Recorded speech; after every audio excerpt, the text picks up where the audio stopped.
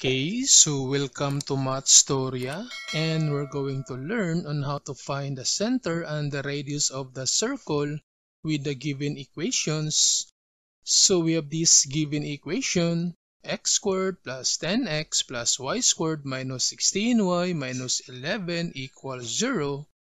So first, we need to write this equation in a standard form so we need to group all x and all y. So from this given equation, group all x. So we have x squared plus 10x, then plus group all y. So we have y squared minus 16y.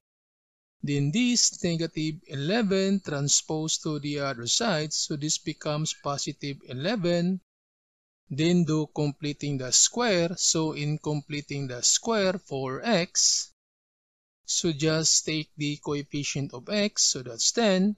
Then divide this one by 2. Take the square. So 10 divided by 2, that's 5. And 5 square is 25. And for y, so take the coefficient of y, that's 16.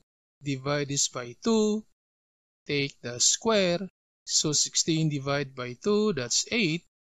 And 8 squared is 64. Then add this 25 to the equation of x.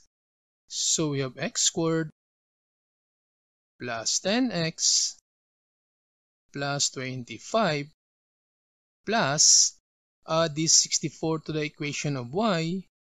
So we have y squared minus 16y, then plus 64 equals 11.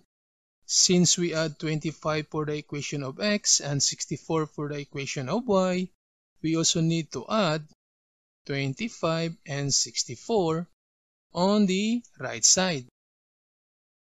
Then apply factoring. So to factor this equation of x, so factors of x squared, this one is x times x. Since the middle term is positive, so plus. And factors of 25, that's 5 times 5. So we have now x plus 5, then squared. And for the equation of y, so factors of y squared, that's y times y. Since the middle term is negative, so minus and factors of 64, that's 8 times 8. So we have y minus 8, then squared equals, so add these three numbers, so 11 plus 25, that's 36, plus 64, so this one is 100. Then from the standard equation of the circle, since we have this r squared, so we need to rewrite this 100 with exponent 2. So we have now x plus 5 squared plus y minus 8 squared. So to rewrite this 100 with exponent 2, so just take the square root of 100, then raise to the power 2.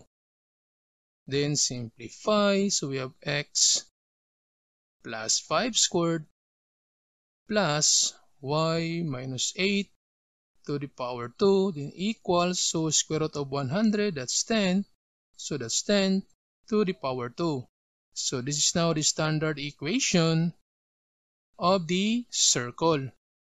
Then from the standard equation the center is h and k and the radius is r.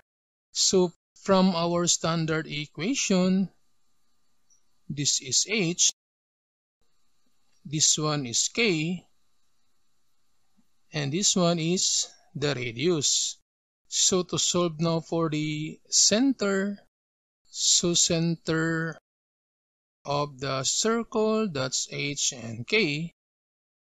So the center now since h is positive 5 so therefore h is negative 5 then k is negative 8. So k is positive 8. So this is now the center of this circle. And for the radius, So since the radius is r, so therefore r is equal to 10.